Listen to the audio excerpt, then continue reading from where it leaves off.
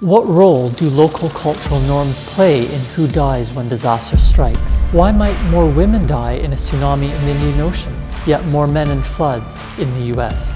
Stay with me, Ilan Kelman, to find out in the latest episode of our new series, The Science of Disasters.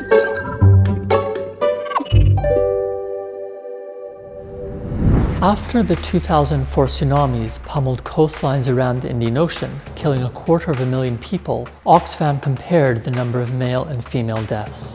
The organization tallied data from villages in Indonesia, India, and Sri Lanka, finding that fatalities among women consistently outnumbered those among men. In some villages, females comprised 80% of those killed. The conclusion is not that women are more vulnerable to tsunami disasters than men. Instead, these numbers indicate that society creates roles based on gender, which lead to different tsunami vulnerabilities for men and women. In some villages in Aceh, the tsunami struck as women were on the shoreline, waiting for their fisher husbands to return with the morning catch. Had the tsunami hit earlier, the men would have been killed as they launched their fishing boats. Had it hit later, the men and women would have been landing catch, leading to more equal death rates. Meanwhile, in one Sri Lankan area, women were bathing in the sea as the waves rolled in, leading to higher death rates among women than men. These rates would have been different if the tsunami had hit just a few hours earlier or later, when the women were not in the water.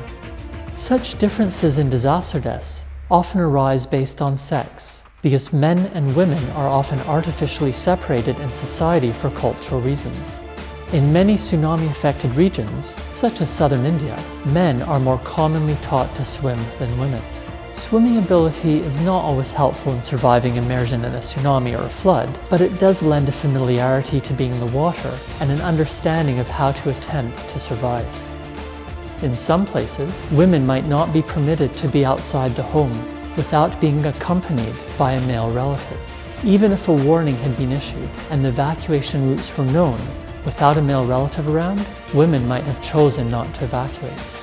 Neither is the clothing women are expected to wear in many of the tsunami-struck places helpful for moving quickly on land or in the water. Because of social and cultural norms, the women would never consider wearing different or fewer clothes in order to escape with their lives. Dying is preferable to being seen in public without what is considered to be proper attire. Many other factors likely make women more vulnerable than men to disasters around the world. These factors are not well evidenced for disasters, even though they are well known for other areas of life.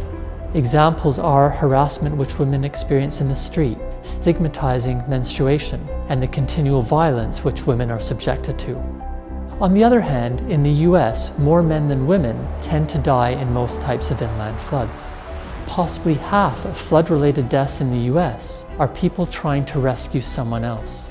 Most trained rescuers, such as firefighters, are men, and most bystanders who take immediate action, driven by societal expectations, are men.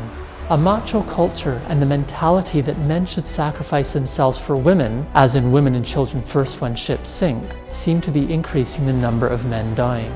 But none of this discussion, from the Indian Ocean to the US, suggests that either men or women are inherently weaker or less intelligent than the other.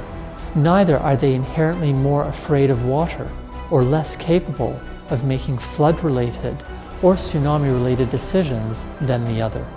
Instead, Cultural roles forced on males and females create vulnerability, making it appear as if either men or women, depending on the location and context, must inevitably be worse off in disasters. And then what happens if you are in a disaster and you have a disability?